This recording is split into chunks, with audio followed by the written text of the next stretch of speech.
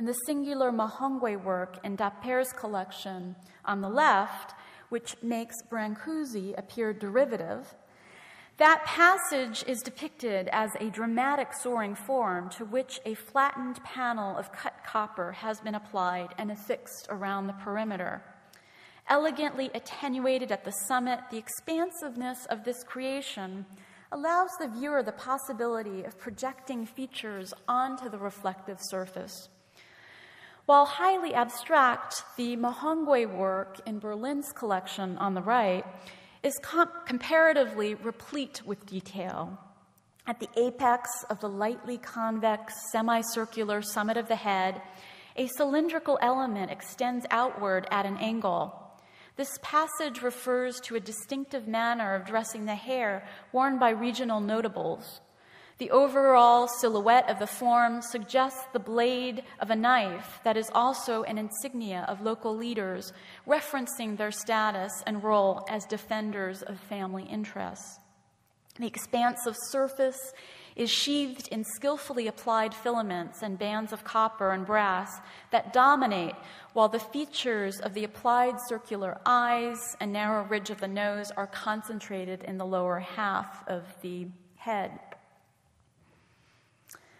Kota sculptors also exploited the possibilities of alternating, projecting, and recessed passages in their definition of the head. In the work on the left, the prominence of the forehead's convexity has been enhanced through the dramatic transition to a heart shaped configuration scooped out below the brows. The bold red copper ovoid eyes, punctuated by iron pupils, are applied to a contrasting brass surface and are its commanding focal points. The importance of the head is further elaborated through the petal like elements that extend out to frame the perimeter. These formal devices are amplified on a more monumental scale by the work on the right. In that interpretation, the face projects out as a convex oval that is expanded by the flat lateral lobes and the crescent balanced at the summit. The wide aperture of the mouth exposes sharp, filed teeth, emphasizing the ancestor's role as fierce protector and aggressive advocate.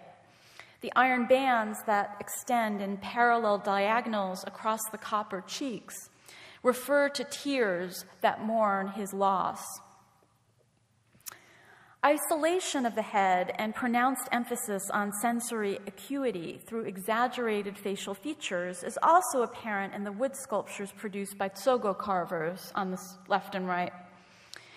The work on the left shows you a facial configuration that is very similar to that embraced by Kota sculptors. A transversal band circumscribes the summit and sides of the head Below the reddish brown of the rounded raised forehead, the brows delineate a flattened heart like configuration in contrasting white.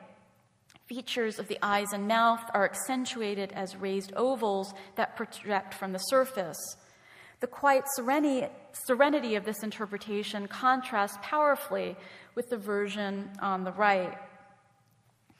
Its raised circular eyes, actually, I'm sorry, I have a missing image here, so I'm going to skip to um, the, this um, work on the screen right now, which is a teke figurative relic receptacle of a male ancestor, uh, a genre that um, emphasized the depiction of renowned chiefs carved by teke masters, um, in which the ancestor is um, positioned in an attentive posture, seated with hands placed on either knee.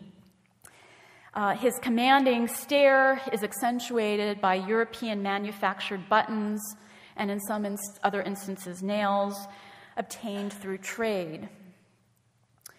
Bembe artists similarly sought to suggest the immediacy of an esteemed ancestor's gaze they did so by concentrating upon capturing a representation of a given subject's facial features during their lifetime. That discrete element was eventually posthumously affixed to the summit of the body. The master Makosa of Kingoyi, the author of the work on the screen that is um, in the final gallery of the exhibition, was renowned for the lengths to which he customized his imagery by making meaningful visual references to his subjects through distinguishing features such as filed teeth or facial tattoos. In the film footage in the exhibition, we see the completion of one such work in 1927, documented by Swedish Protestant missionaries. Um, and in one of the opening scenes of that film clip, we see Makosa stitching the head to the summit of a closely related work. The responsiveness of venerated ancestors to appeals for intervention by living family members was conveyed by regional artists through the gestures and postures of reliquary sculpture.